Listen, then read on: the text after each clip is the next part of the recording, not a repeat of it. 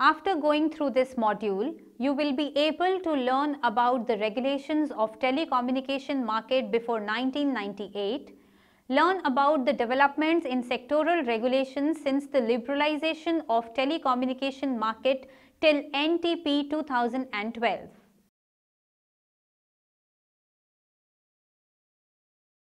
For any country's socio-economic development, telecommunication services are recognized as important tool. It acts as a major support service for all the other industries, rapid growth and modernization. Through significant policy reforms, Indian telecommunication services has transformed totally from its earlier stage. The NTP that is National Telecom Policy of 1994 and NTP 1999 was the main driving force for the development of telecom sector. During the past decade, several sectoral reforms were introduced for growth of this sector. As a result of these reforms, Indian telecom industry emerged as one of the best performing industry in the recent years. Regulations of telecommunication market before 1998 In 1980s, telecom services were fully under the control of the Department of Post and Telegraph. The telecom industry was entirely in the government ownership. In 1984, private sector players were allowed to step in in manufacturing of telecommunication equipment. In the same year of 1984, as part of reforms, government set up Center for Development of Telematics that is CDOT. CDOT was an autonomous body created to carry out the research and development activity in telecom sector. In 1985, Department of Post and Telegraph was separated and two separate departments were set up as the Department of Post and Department of Telecommunication that is DOT DOT. DOT was a wholly owned government operator for whole telecom services in India. DOT was responsible for planning, installing, managing, engineering, maintenance and management of telecom services in India.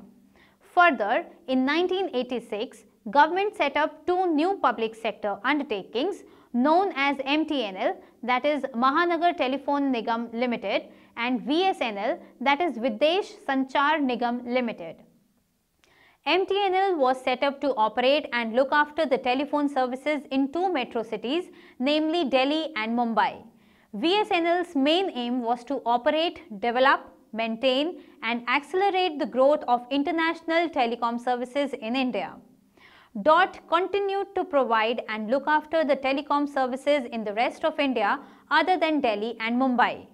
Till this time, telephone was not a necessity, it was a luxury service affordable only by few citizens in the society. In 1989, Telecom Commission was set up as an executive body in order to assist DOT in policy regulation. In 1991, India adopted new economic policy. New economic policy objectives were unattainable without world-class quality telecom services. This gave trust to reforms in telecom sector resulting liberalization in the sector. Government allowed the private sector participation in value added services such as paging and cellular services. In 1994, government adopted National Telecom Policy 1994 that is NTP 1994. National Telecom Policy 1994. NTP 1994 was announced in 1994. Main aim of this policy was to achieve rapid growth in exports by improving India's competitiveness in the global market. NTP 1994 recognized the fact that private investors should be allowed to bridge the resource gap in the services. Main highlighting points of this policy were to ensure that telephone is accessible to all that is availability of telephone on demand, to provide world-class telecom services, to provide universal availability of basic telecom services to all villages at reasonable and affordable prices, to ensure that India arises as major exporter and major manufacturer of telecom equipment, to attract FDI and motivate domestic investors to invest in the telecom sector, it also announced series of specific targets which were to be achieved by the end of 1997. Participation of private sector was allowed in a phased manner. In the beginning, private sector was allowed only in the value-added services. Later on, they were allowed to participate in fixed telephone services also. Establishment of TRAI, that is Telecom Regulatory Authority of India. With the entry of private participant in telecom sector, a need was felt for an independent regulator. On 20 February 1997, Telecom Regulatory Authority of India was established by an Act of Parliament known as Telecom Regulatory Authority of India Act 1997. TRAI was aimed to regulate the telecom services, fixation and revision of tariffs for the telecom services. Earlier, these powers were with the central government. Main objective of TRAI was to create fair and transparent policy environment which will ultimately give rise to the fair competition. The functions allotted to TRAI included A. To protect the interest of consumers of telecom sector B. To settle dispute among service providers if any C.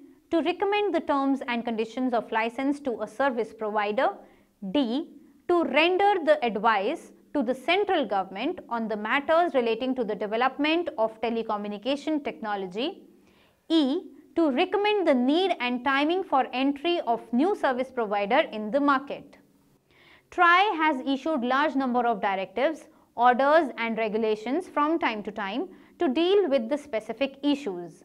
This has helped in the evolution of telecom sector at one point of time, Indian telecom sector was fully owned by government, but now it was very competitive with the existence of multiple private operators. Telecommunications Dispute Settlement and Appellate Tribunal that is TDSAT was established in the year 2000 after making an amendment in TRAI Act. TDSAT took over all the adjudicatory and disputes functions from TRAI. TDSAT can adjudicate any dispute between A. Between a licensor and a licensee B. Between two or more service providers C. Between a service provider and a group of consumers D. To hear and dispose of appeals against any direction, decision or order of TRAI. Evolution of sectoral regulations since the liberalization of telecommunication market. In late 1990, government expected that economy's growth was very much dependent on the growth of telecom sector. Telecom sector directly and indirectly put impacts on the country's GDP. Now, the need of the new forward-looking telecommunication policy was felt. So, to achieve India's dream of becoming IT superpower and creating world-class telecom infrastructure, New Telecom Policy 1999 was announced. New Telecom Policy 1999. The main objectives of NTP 1999 were as follows. Main goal of this new telecom policy was to make availability of effective and affordable communications for citizens. Provide a balance between provision of universal service to all uncovered areas including rural areas and the provision of high level services capable of meeting the needs of the economy encourage development of telecommunication facilities in remote, hilly and tribal areas of the nation. To facilitate India's journey to becoming an IT superpower by creating a modern and efficient telecommunication infrastructure taking into account the coverage of IT, media, telecom and consumer electronics convert PCOs wherever justified into public telephone information centers having multimedia capability such as ISDN services, remote database access, government and community information systems etc.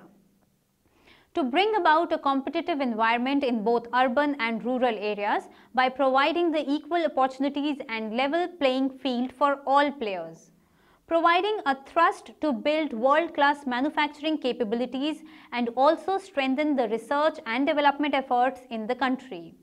Achieve efficiency and transparency in spectrum management, protect the defense and security interest of the country, enable Indian telecom companies to become global players.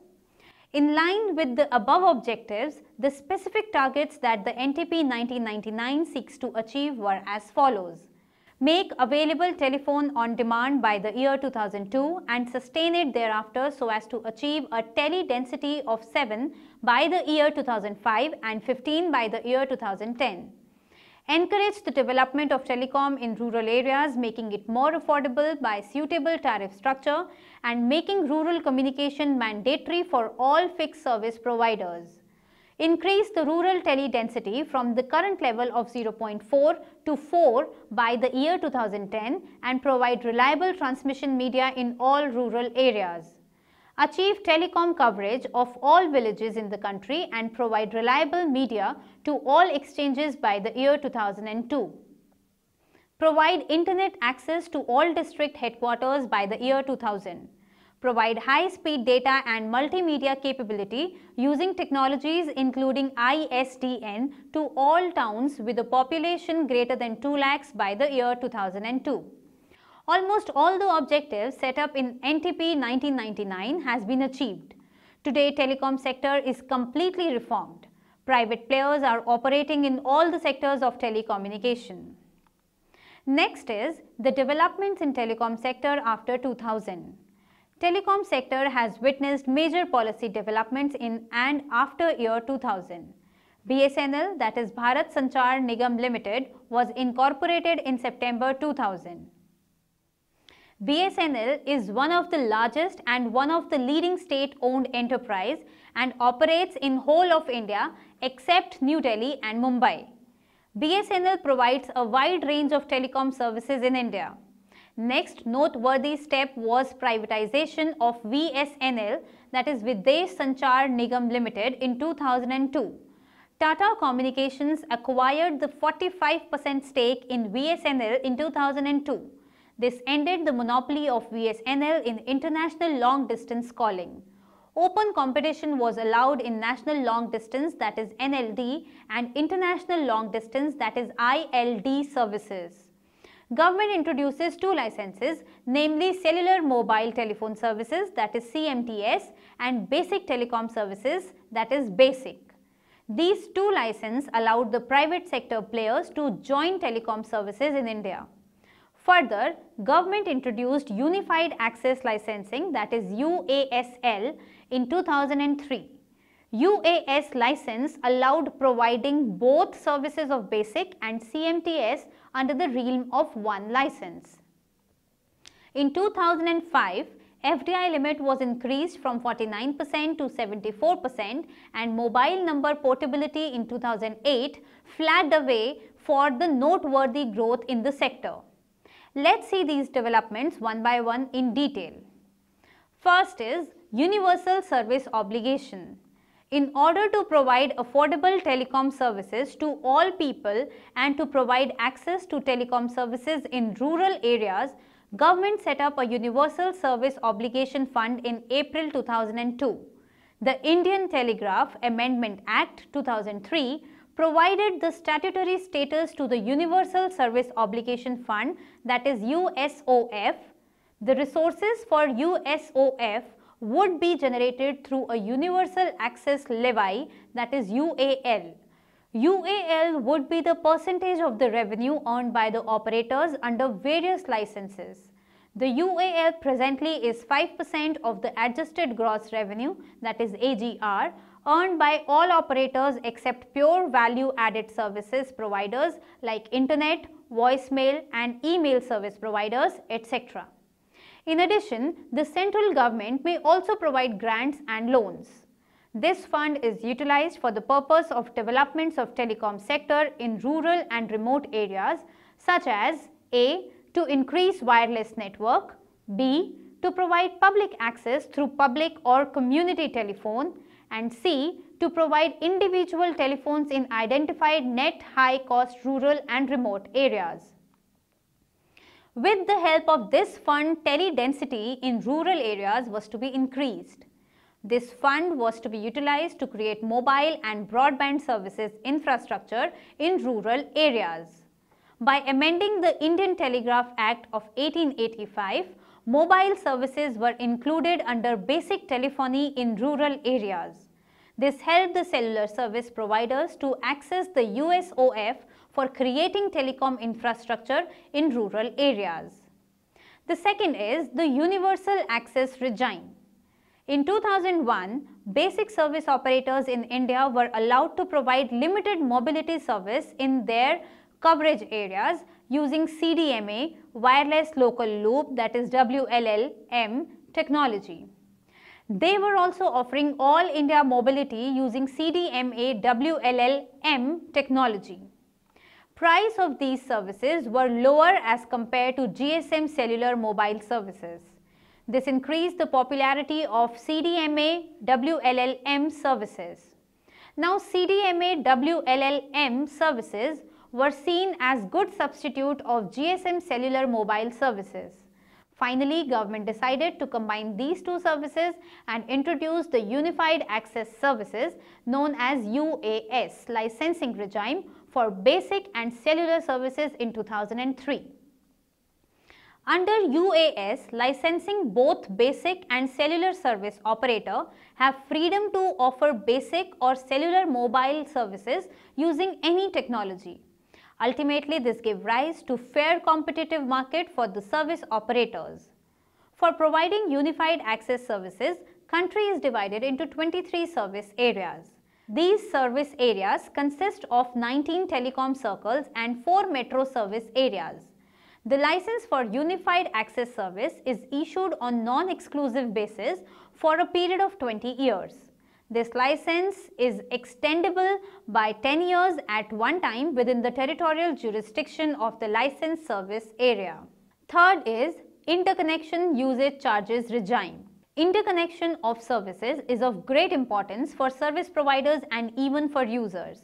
To make local, national and international calls possible, a variety of networks of fixed and mobile phones, national long distance network and international long distance network have to work together in interconnection with each other. All this makes necessary to have an effective interconnection usage charge regime. TRAI announced and implemented the Telecommunication Interconnection Usage Charge known as IUC regulation in 2003. These regulations decided the terms and conditions of interconnectivity between various service providers. Now, there were clear regulations among service providers for sharing their revenues which are derived from providing telecommunication services to each other. Fourth is the Internet Service Providers. In 1998, Internet service were open for private participation. This increased the penetration of Internet and encouraged growth of Internet services. Keeping in mind the general public interest and particularly the consumer interest, government decided to issue new guidelines for the grant of internet services. Now, any Indian company with a maximum foreign equity of 74% is eligible for grant of license. Fifth is Broadband Policy 2004. Penetration of internet services and broadband were very low till December 2003 on the recommendations of TRAI to increase the internet and broadband penetration in India, government announced broadband policy on 2004. The main emphasis of broadband policy was to create an infrastructure for the growth of broadband using various technologies. These technologies include optical fiber, cable TV network, direct to home and asymmetric digital subscriber lines, etc. It was recognized that by improving the broadband services, there will be a positive impact on the society. There will be increased usage of online education, telemedicine, e-governance, entertainment and employment opportunities. Sixth, foreign direct investment. FDI is the major source of financial investment made for the growth of telecom sector. In 2005, the government allowed 74% of FDI in telecom companies. Earlier, this limit was 49%. This resulted in incomparable foreign direct investment in the telecom sector. FDI up to 100% was allowed in respect of the following telecom services. A. Infrastructure providers providing dark fiber. B. Electronic mail and C. Voicemail. Seventh is mobile number portability. Mobile number portability, known as MNP, provides subscribers opportunity to change their telecom service providers while retaining their previous number. It is two-way sword. On the one hand, it provides more choice and freedom to the consumer and on the other hand, it also encouraged the telecom service providers to further improve their services to retain the existing consumers.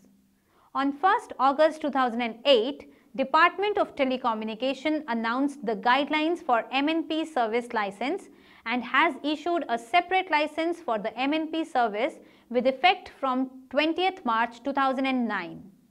As per the regulations, the subscribers would be allowed to retain their mobile number while moving from within the same service circle one access providers to another irrespective of the mobile technology or platform or one cellular mobile technology to another of the same access provider. For the purpose of MNP, country is geographically divided into two number portability zones, namely Zone 1 and Zone 2. Each zone consists of 11 licensed service areas. Eighth is spectrum management. Spectrum management is very important these days. Use of radio waves or radio frequencies for the purpose of telecommunication services is known as spectrum. Spectrum is treated as public property and government is only the caretaker of this public property. In India, spectrum is shared among railways, ONGC, defence and telecommunication services etc. In telecom sector, spectrum is shared by both GSM and CDMA cellular service providers. Spectrum is important factor in the growth of wireless services. Recognizing this fact, Indian government set up two committees. First was Spectrum Management Committee and the other was a steering group on spectrum pricing. Both were set up in 1999. In India, assignment of spectrum is governed by the National Frequency Allocation Plan known as NFAP 2002 and International Radio Regulation of the International Telecommunication Union that is ITU. After taking in account changes in the international allocations and changes in the national spectrum requirement as well as emerging technologies, NFAP has been revised from time to time. Ninth, National Telecom Policy that is NTP of 2012. In the year 2012, DOT introduced NTP 2012. The main objective of NTP 2012 are as follows.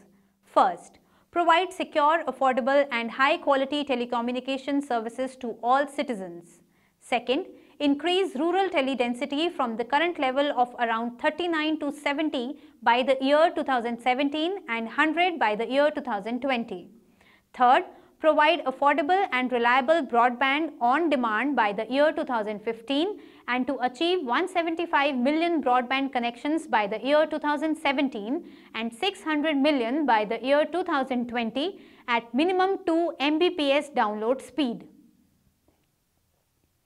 Fourth, provide high speed and high quality broadband access to all village panchayats through a combination of technologies by the year 2014. Fifth, promote innovation, indigenous research and development and manufacturing to serve domestic and global markets by increasing the skills and competencies. Sixth, simplify the licensing framework to further extend the converged high quality service across the nation including rural and remote areas. Seventh, strive to create one nation, one license across services and service areas. Eighth, achieve One Nation full mobile number portability and work towards One Nation free roaming.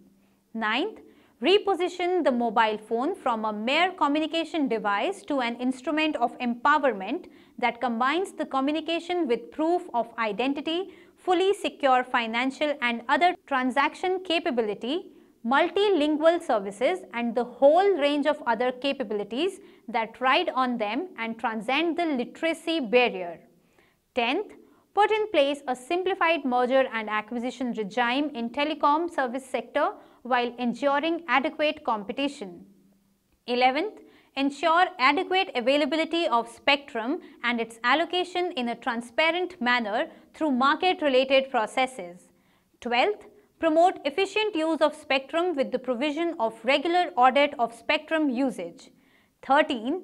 Enhance and continued adoption of green policy in telecom and incentivize use of renewable energy sources for sustainability. 14th, strengthen the grievance redressal mechanisms to provide timely and effective resolution. 15th, put in place a web-based real-time e-governance solution to support online submission of applications including processing, issuance of licenses and clearance from DOT. NTP 2012 is very progressive in its outlook. It is going to provide the required impetus to the growth of telecom sector. Let us now summarize what we have studied in this module. In 1980s, telecom services were fully under the control of Department of Post and Telegraph. In 1985, Department of Telecommunication, that is DOT, was created. DOT was a wholly owned government operator for whole telecom service in India. In 1994, government adopted National Telecom Policy 1994, which was known as NTP 1994. NTP 1994 recognized the fact that private investors should be allowed to bridge the resource gap in services. In 1997, Telecom Regulatory Authority of India was established. TRAI was aimed to regulate the telecom services, fixation and revision of tariffs for telecom services. To achieve India's dream of becoming IT superpower and creating world-class telecom infrastructure, NTP 1999 was announced telecom sector has witnessed major policy developments in and after year 2000, Universal Service Obligation Fund, Universal Access Regime, Interconnection Usage Charges Regime, Broadband Policy 2004, increase of FDI 2005, limit from 49% to 74% and mobile number portability in 2008 and spectrum management are notable developments. In the year 2012, DOT introduced NTP 2012 that is NTP 2012. NTP 2012 is very progressive in its outlook.